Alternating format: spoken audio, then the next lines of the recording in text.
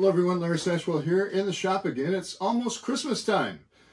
Well, it isn't Thanksgiving yet, but my granddaughter Libby suggested that I make a group of videos around one holiday theme. So I'm going to start with Christmas. Uh, it's a little too late for Thanksgiving and I really don't have any good ideas for Thanksgiving. But today I'm going to make a Christmas tree out of a Christmas tree. And this is my prototype. So hopefully we're going to end up with something like this. For the tools, you're going to need some kind of a saw. Some type of a saw. Chainsaw will work too. And some type of a carving device. I'm going to use my axe mainly. A spoke shave will work. A draw knife will work. And you're going to need some chisels. Either a hand chisel or ones like these. Now these tools, even a carving pocket knife will work. My tools are extremely sharp, and if you're working with sharp tools, you've got to be extremely careful. This is Dana's Christmas tree from last year. I asked her to save it for me, and this is what I'm going to be using today. This is a piece of sweet gum that blew down in the last hurricane that came through. It was a tropical storm at the time, but we lost several limbs, and this is uh, one of them. So if I make it out of this, I know it's going to split by next year. This one has a split in it, but I don't think it takes anything away from it. Let's get started. Uh, this piece really has a lot of knots in it. That's going to be quite a challenge. And it may not work, but I want to leave it a little bit long. This is going to be a really small one because of the diameter of the tree here. So the next thing is to make this a cone shape.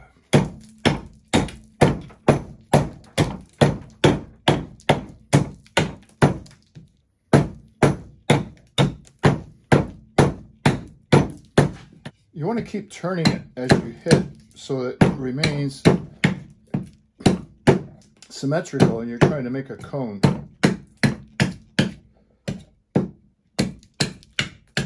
Smells like Christmas. It should go without saying, as you can tell, this is a pretty sharp axe. I don't want to hold my hand down here. I'm going to way up at the top on the opposite side with all of my fingers behind it. And as it gets closer here, I'm taking smaller and smaller bites. Uh, these knots make it a little more difficult, especially when they're like this and get in the way. So I'm going to try to take this knot out.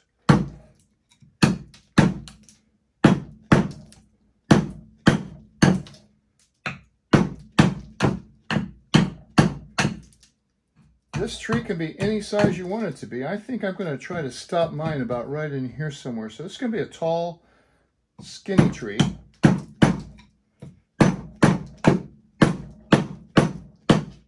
So I'm pretty happy with this shape. Symmetrical all the way around. I don't have to worry about getting rid of these little chip marks. So I'm ready for the next step. So for this next step, you need to decide which chisel you're going to use. And you can make some practice cuts on a scrap. This chisel tends to really turn the chips up. This is a veining tool. It's going to make very small. This is kind of a spoon I like this one. A little bit wider. I don't think this would, would be appropriate on this size tree. And this is even wider yet. This one I've specially ground. Normally a chisel like this would look like this with a flat end. I've put this a little, given this a little bit of a round shape because I like the way it looks. I'm going to use this little piece of uh, scrap here to help me anchor this. It'll give me a solid piece to work on. But I also want to make sure I don't hit my chisel on that metal. And starting at the top, I'm going to make some random cuts. And these knots, of course,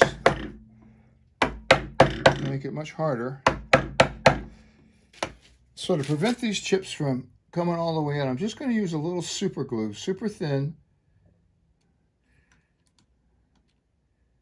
behind each one, and that will help secure them. I'm going to give it a little turn. Let's start on this side. So I'm just going to keep going around this. Same procedure.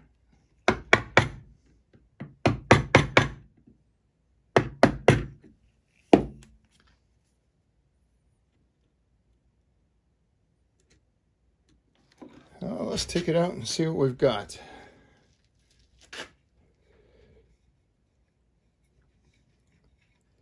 Looks like I need a little bit more right here.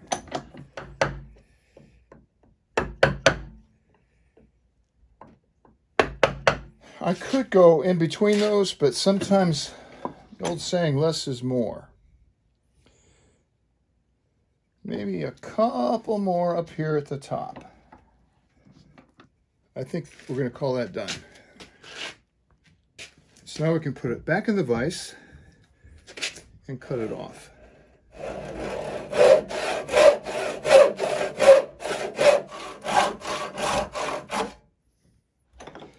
Now I'm going to come down to the other end, cut off a little disc here.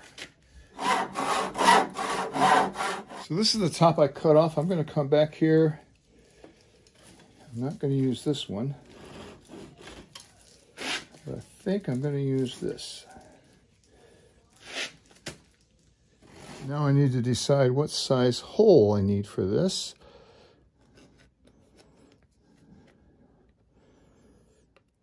5 16ths will work.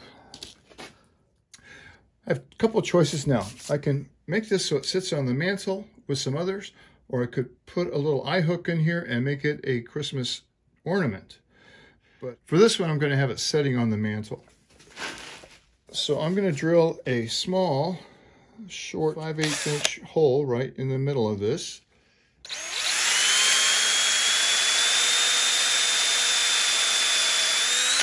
Think I'll use this as the top. I don't want to go all the way through this, but it's not a big deal if I do. And that fits there. So we'll put that in there and give it a little dab of CA glue.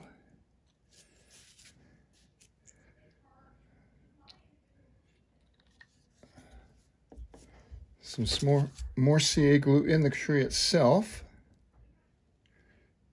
It looks like this.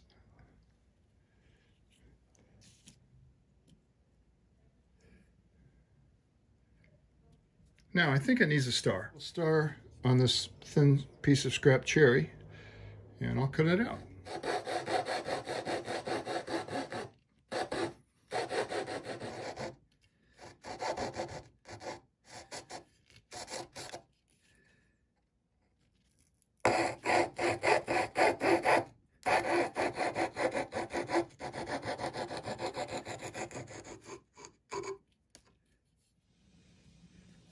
Right, the last one is always the trickiest.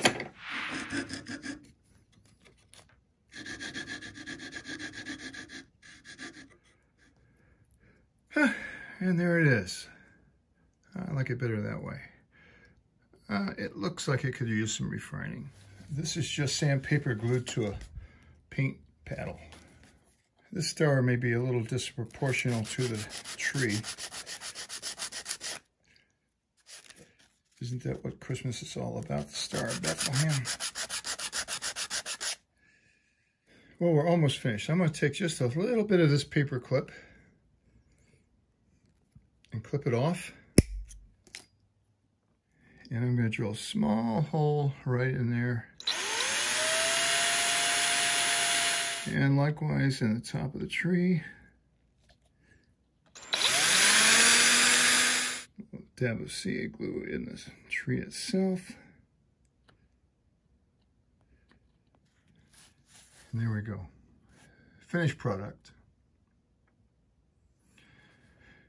You can make these any size. I'm going to be making a larger one out of that piece of sweet gum. Thanks for watching. Come back often.